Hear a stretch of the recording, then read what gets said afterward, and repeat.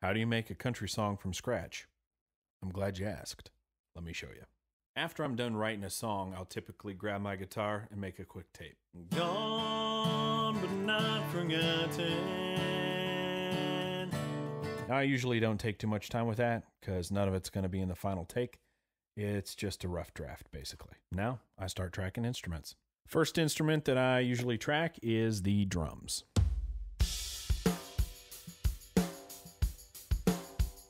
And then I'll move on and I'll track bass guitar.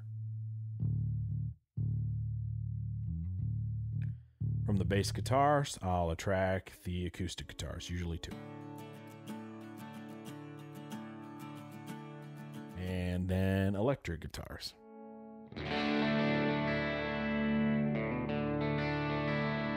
From there, I'll track the organ and the piano. I don't always put piano in, but on this particular track, I did.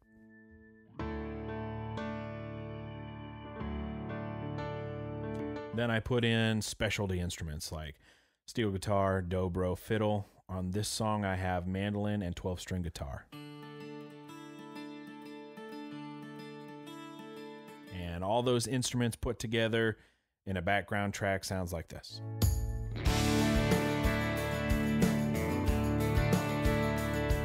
Now it's time for me to track my vocals. I'll track the main vocal and then I'll track the background vocals as well. Gone but not forgotten. And all of that mixed together into the final product sounds like this. Gone but not forgotten.